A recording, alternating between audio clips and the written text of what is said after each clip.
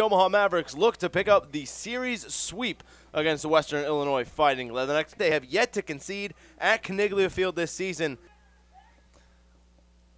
Here's the ball in from towards back post. Fitzroy Cummings over the top. Able to ride challenges and able to win the ball back high up the field. Nil Ayats with a shot.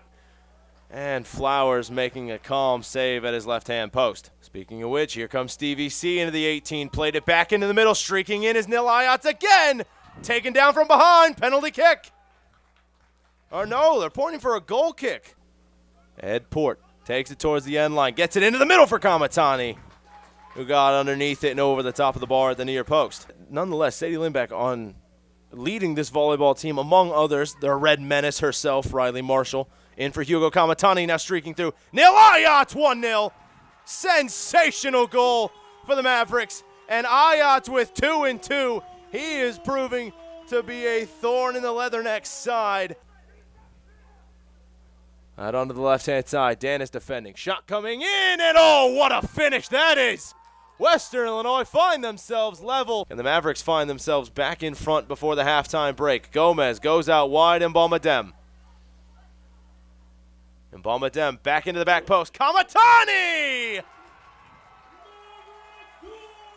Gets the Mavericks back in front. Kamatani back on the score sheet. The South Dakota State Jackrabbits at 21 and 2.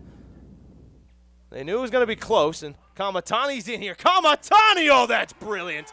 That is just class from Hugo Kamatani.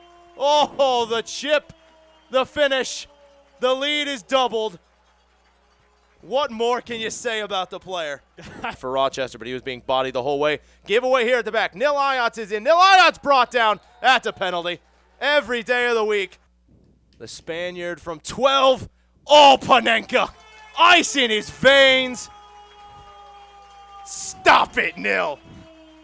This Maverick team is playing loose, playing with confidence, and playing with a lot of belief right now. It's just, it's all coming naturally to them at the moment. You can't do anything but sit, smile, and laugh. Panenka right down the middle. Nil Ayats, you cheeky little so-and-so. Good work here from the uh, other next. They seem to be taking advantage of the fact that UNO has a good deal of reserves in. Probably players who haven't gotten a lot of game time together necessarily, so we'll see just how well they work together here. And that'll do it from Caniglia Field. The Mavericks pick up their second win in three days over Western Illinois. The combination play of Nil Ayats and Hugo Kamatani, both with two goals on the day,